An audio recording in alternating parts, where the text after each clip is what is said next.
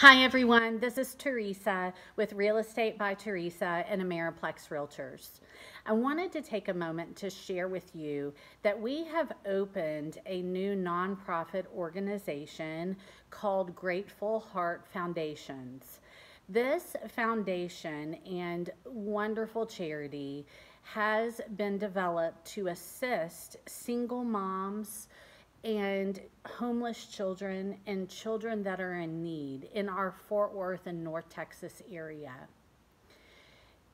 I also want to take a moment to say thank you for supporting me, my family, our business over all these past years.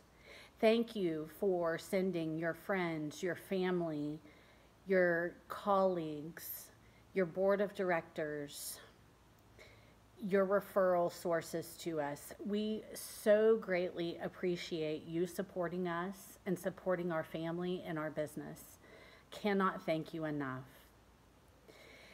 In connection with our new charity that we've started, we are wanting to start off small with the charity and help some moms in need.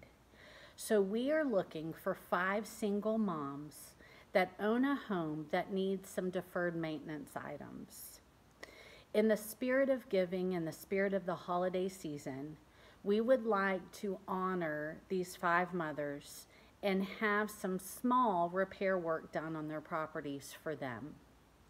So please, if you're a realtor, if you know a mom in need, if you are a business person, a citizen of our community, and your neighbor needs some help, would you please send your submissions to us?